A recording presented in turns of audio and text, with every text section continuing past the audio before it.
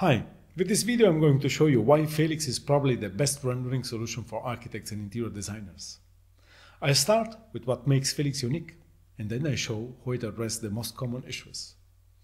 First of all, being cloud-based, it offers almost unlimited rendering power. In fact, from an old PC you get real-time ray tracing and you can run up to 20 renderings simultaneously. Second is its rendering accuracy. Felix resolves full global illumination caustics, volumetrics, thousands of light sources in real time. Third is its ability to share among users 2D and 3D assets. That's why Felix libraries are growing day by day. Fourth is Felix's ability to deal with colossal scenes even from old computers. That's because in Felix, a 7 million polygon tree like this one is represented by a simplified object, thus disengaging your computer.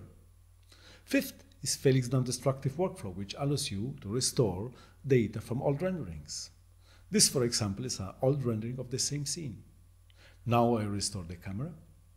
Now I restore the environment. Now the materials. Now the objects. By pressing Ctrl, you can also grab any material from any rendering, or by pressing Shift, any object.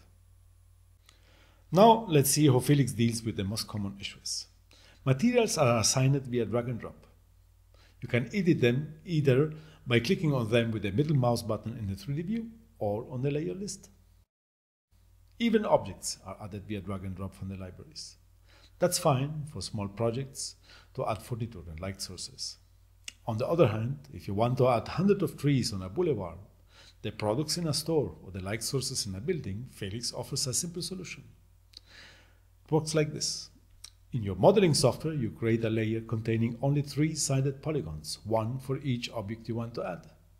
You import it into Felix and you drag the desired object onto it.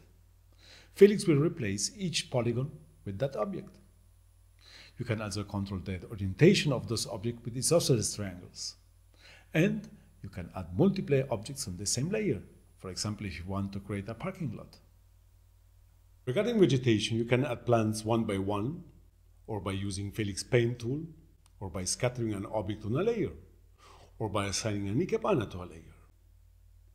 As for lighting, in addition, you can make any surface illuminating by assigning it an emitter material, and among emitter materials, you find IES emitters, which allow you to easily change the photometry of any light source.